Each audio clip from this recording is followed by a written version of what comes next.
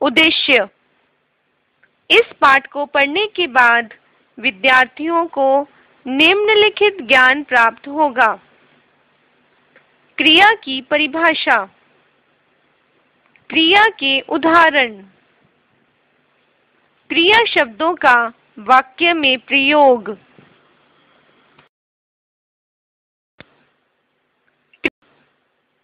क्रिया। काम। करने वाले शब्दों को क्रिया कहते हैं, क्योंकि क्रिया का संबंध कोई काम करने से होता है।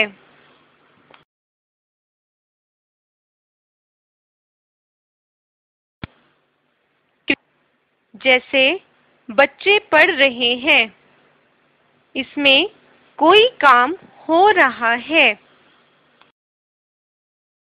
मोनिका झाड़ू लगा रही है। कोई काम हो रहा है। क्रिया के उदाहरण। लिख, देख, पढ़, रो, खा, पी, धो, बजा, बना, सो, लड़, तोड़ हंस, गा, लिख, पहन, नाच, पकड़, दौड़, कूद, तैर, सीख। क्रिया का वाक्य के साथ प्रयोग। धो। रीता कपड़े धो रही है।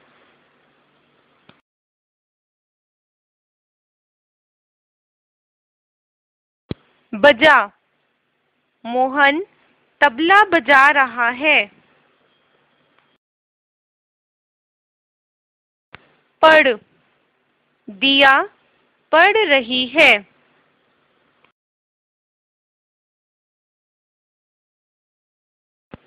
जा। बच्चे स्कूल जा रहे हैं।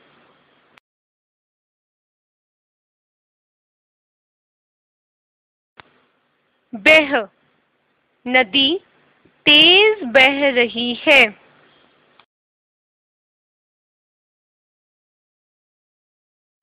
काट, सुरभि आलू काट रही है।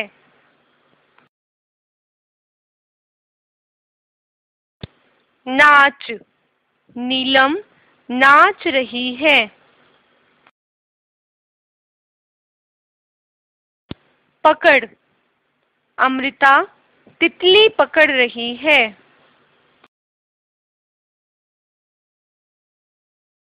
चुन।